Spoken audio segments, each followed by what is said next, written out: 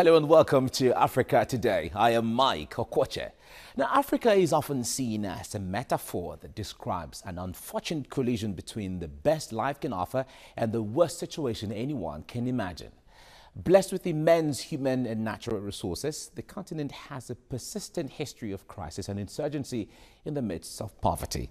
Uh, this year's International Day of Peace was a chance for citizens of crisis-ridden nations in Africa to reflect on the need for peaceful coexistence that has eluded the region for decades.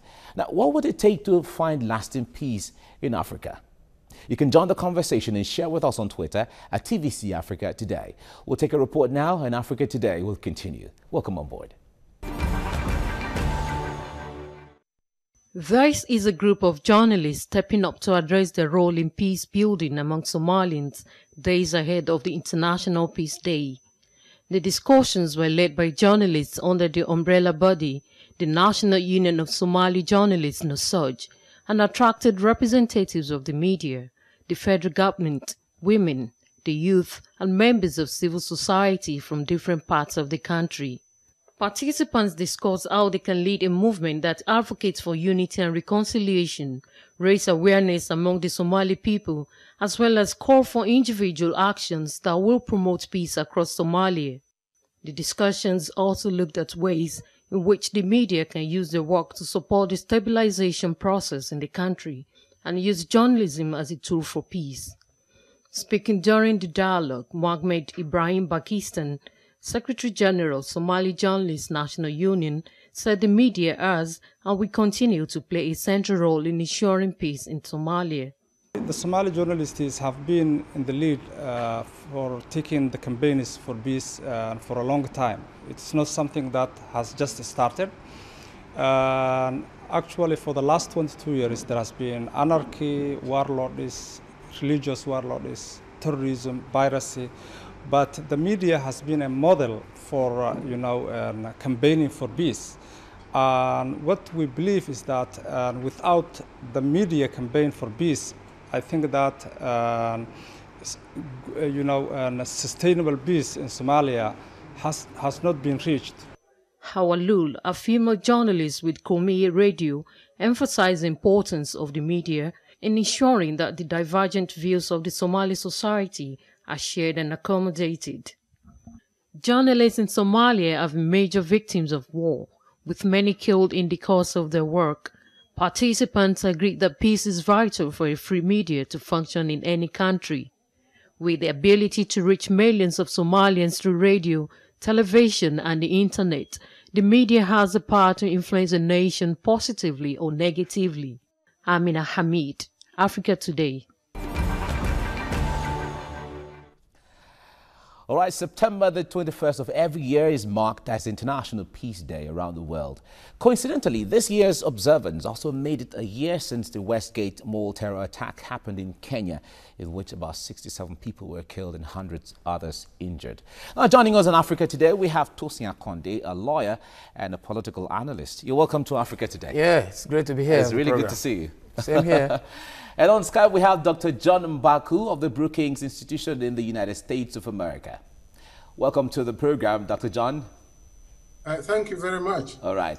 Okay, let, us start from the studio. Uh, uh, Conde, if you have to, if we make comparison between now and decades back, would you say Africa is better off in the context of being peaceful uh, well, um, I think uh, my take on that is that uh, it's like um, having to choose between the devil and the deep blue sea. so, uh, well, it's, it's, it's, it's, fair compared to a few years back. You know, as for instance, as at 1998, there was a major UN report on African conflicts, and um, it was revealed to us that um, between 1998 oh, sorry, as of 2010, I'm sorry now. Mm. Now, between 1998 and 2010, war conflict zones in Africa dropped from 14 to mere four. Right. But I'm sure that between 2010 and now, too, there has been a slight increase exactly. following the independence of South Sudan from Sudan mm.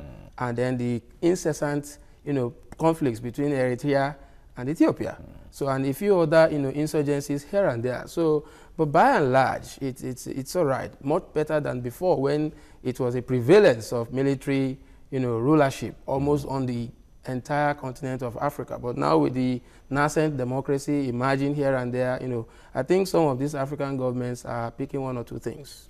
All right. Uh, basically, what makes it so difficult to find lasting peace on the African continent? Because year in, year out, you must hear of a crisis or some kind of insurgency or some kind of violence in one part of the continent or the other. You certainly don't often hear that in Europe. You certainly don't often hear that in uh, in South in South America or even in America, as the case may be. But you've always heard that idiomatic expression that you don't put a round um, peg in a square hole, hmm. or you don't do the vice versa. Okay. All right. Now um, that is what happens. It's um, it was rehearsed way back 1884.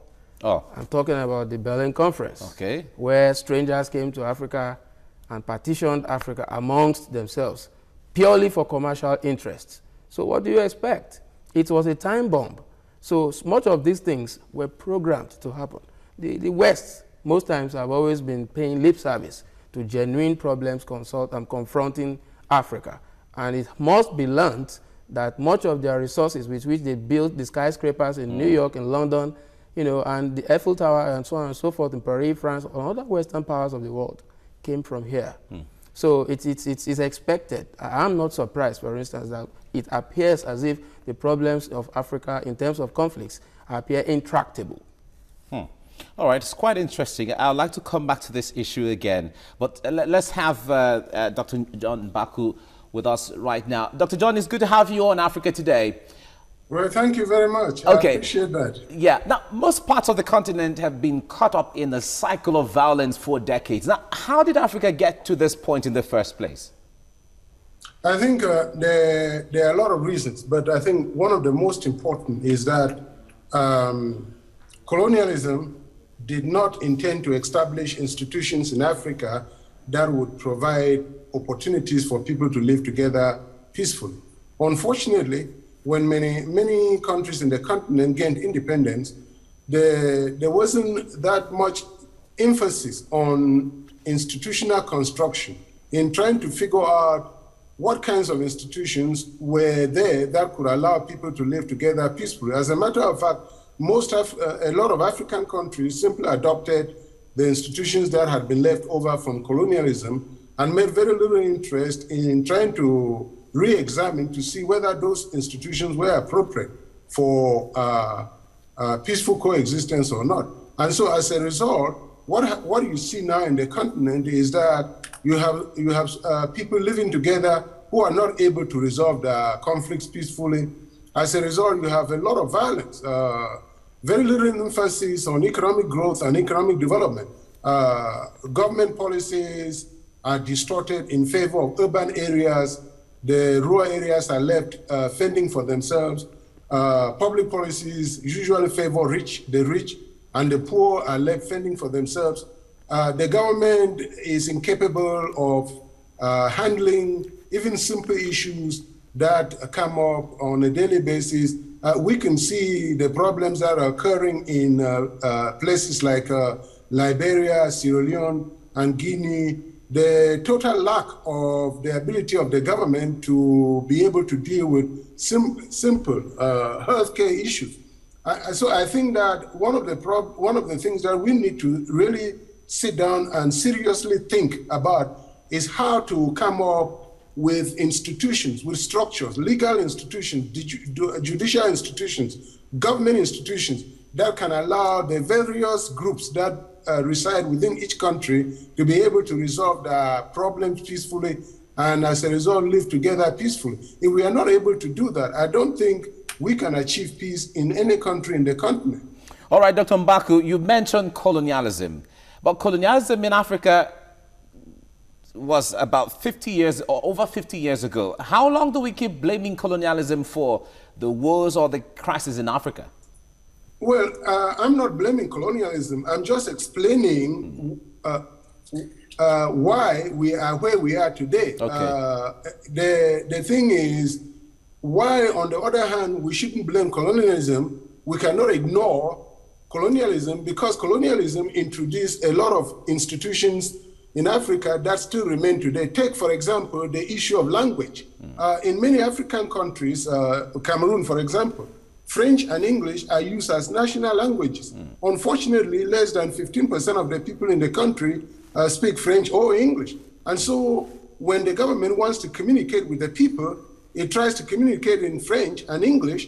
Unfortunately, most people don't even understand any of those languages. So, uh, yes, it is true that we cannot continue to blame colonialism, but we have to take into consideration the fact that many of the institutions that, that now control our lives in Africa are based on uh, European models. Uh, uh, the Francophone countries, for example, in 1958, except for Guinea, all the Francophone countries adopted the French Constitution of 1958 as a model for their institutions, even though the problems that existed in, in, uh, in, in those countries at the time had very little relevance to what was going on in France when the French developed their uh, constitution.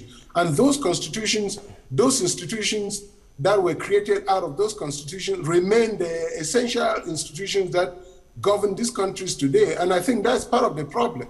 We have to be serious about reconstruction and, and sit down and ask ourselves, how are we going to uh, govern ourselves? What kinds of institutions are appropriate for countries in Africa? Instead of relying on European institutions, because I think this is the beginning of the problem let me ask you the same question before I go back to the earlier point you were making. Okay. Now, we, the, there's often very strong worded speeches from leaders and players on the international scale when it comes to summits of, of that, that try to find lasting peace on the African continent. But we often don't see the translation of those speeches, strong speeches, to execution of peace on the continent. Well, I think the question you have just um, asked mm. is a source of major concern even to the UN authorities. Okay. I could recall in one of the reports submitted by the, the UN SecGen, I'm mm. talking about Mr. Ban Ki-moon. Yeah. He said, he, he, had a coinage for it, he said resource mismatch. Okay. He said people come and make pledges, say speeches, mm. only not to be able to advance the funds mm. they have promised with which peacekeeping missions all over the world are being exercised or carried out. So it is the human tendency. You understand? It, th that's what I was saying when you, the first question you, you, you asked me. I said, there is a tendency for Western powers to pay lip service to the genuine development of Africa. It appears as if they even fuel. Not only it appears, I know, but most of them are behind some of the problems and some of these conflicts. I'll give you a cue. The Westgate attack we talked about, of course, fingers have been uh, directed and pointed at the Israeli government. I, I hope you are aware that there is a tendency, I mean, there is a report that, look, Israel and Kenya, for instance, have signed a security pact.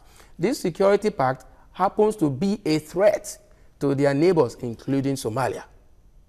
And they are of the opinion, the Somali government forces now, Mogadishu is saying that, look, these people have come into our territory mm. to carry out military operations. Yeah. So the Westgate attack actually is even seen as a reprisal attack, okay. which is legitimate in international law. All right, we'll, we'll come back to this issue. Now, some say developed nations of the world ignore the warning signs many months ago and missed the chance to prevent the chaotic situation in parts of Africa.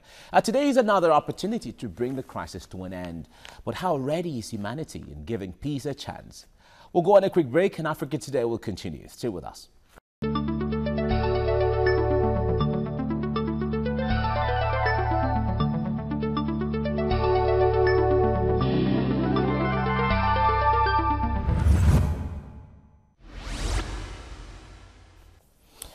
Right, for many, a wider perspective of Africa gives a narrow impression of conflict all over the continent.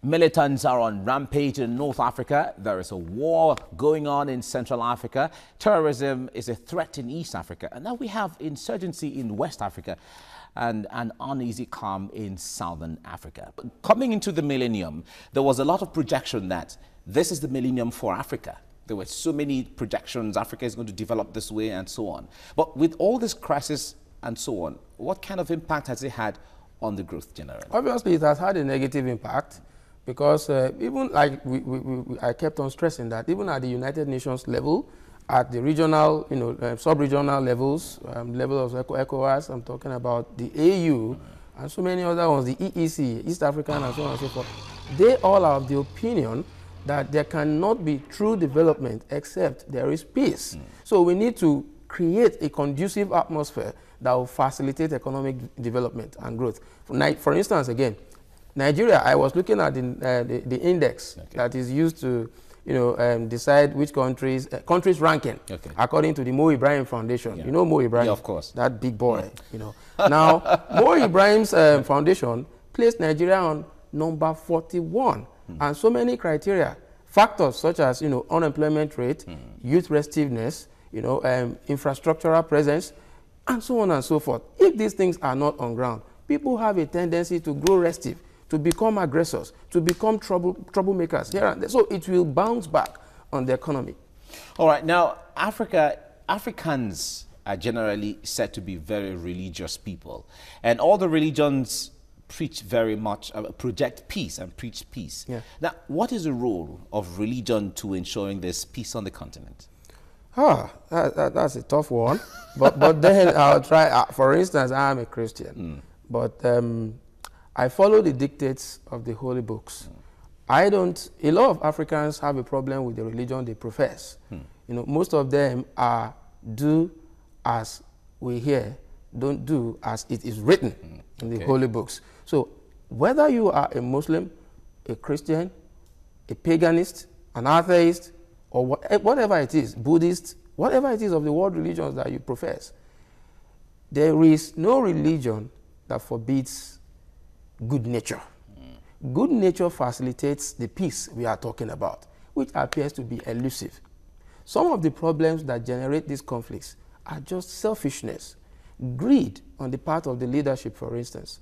And so, if religion is now being, you see, don't give a dog a bad name that you may hang it. Mm. I would not want to lay the blame on religion. It's still about the people because I know that good nature stems from within. It's not about religion. So you could be a paganist and be a good man. You could be a Muslim and be a good man. You, you could be a Taoist and be whatever it is that you, yeah, but, it's but about I, your nature yes, inside. Yeah, but I like to draw it from, if, if, uh, narrow it down to the religious leaders. Often, because if you see, if you see, religion is a tool where people don't question whatever their religious leaders tell them. And that's the problem. Uh, uh, that's fine, the problem. Fine. So I, I like to draw it to the religious leaders where they stand because they have a lot of influence on the people. Now, if we have to take it to the Central African Republic, we saw the, the problem between the Seleka rebel and the, and the anti-Balaka, yeah. which, which turned into a religious issue, the Islam. And, but they have religious leaders who direct people, talk to people, and they have a large number of followership. So how come the leaders don't have that kind of influence on the people when it comes to telling them not to go into violence? Well, um, that is where um, I have reservations mm. about how people carry about religion. Right. As a Christian, I know that in, in the Bible, Isaiah 1, 18, the Spirit of God was, I don't want to go religious because mm. this is an international matter, yeah, but then let, let, me quote the Bible here. It says, Come and let us reason. Mm. If God, as high and mighty as He is, could be saying to me, a mere mortal, Come, let us think and reason. I ask questions, hard questions, and I get answers yeah. because my Christian faith makes me to believe that there is something, a concept, the concept of the Holy Spirit, which ministers to me. And that spirit tells me, forbid mm. violence. So and then I eschew violence. I don't do all, it. I don't all, do all, it. All religions certainly preach Islam, peace. Islam, for instance, means peace. Yeah, it's a religion of peace. Mm. And that's what some people are saying. If we come down home to Nigeria mm. talking about Boko Haram, exactly. they say, look, that's not an Islamic agenda. They have, they have demarcated, they have delineated the line, saying that, look, this one is, is dastardly evil. Islam is a religion of peace. I believe so too. For instance, Arabic, which is the hallmark of nations that profess Islam, Arabic language, was one of the languages spoken in the Bible when the Holy Spirit manifested amongst the people. Acts chapter 2. Hmm.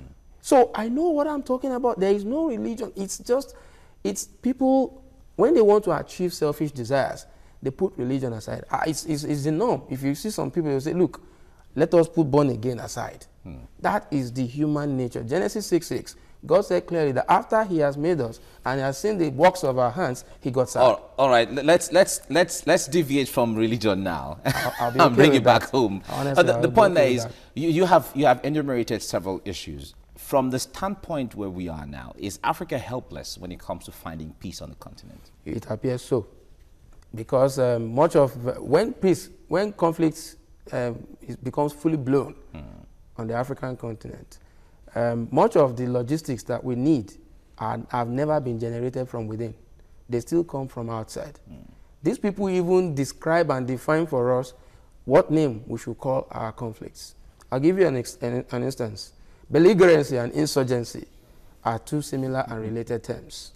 But they will tell you that whatever sanction, whatever conflict that is solid enough to attract the, the, the mercy or the attention of the United Nations is belligerency. Mm.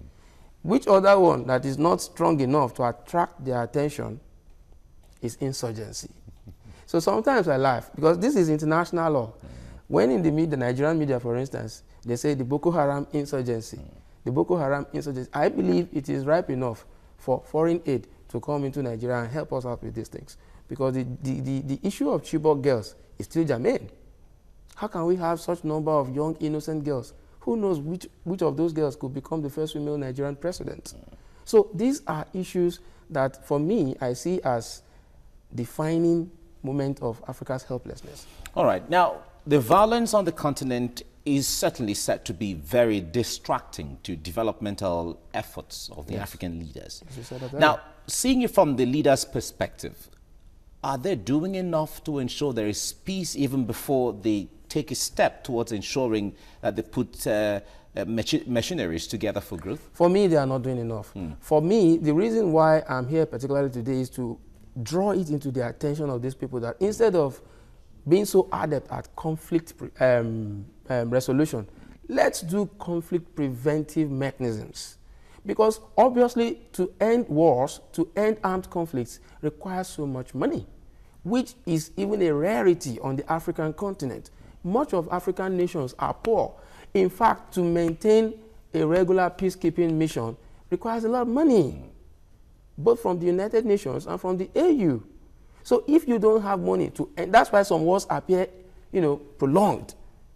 We don't have the solid financial base to put a one-stop end to much of these conflicts. And who bears the brunt the most?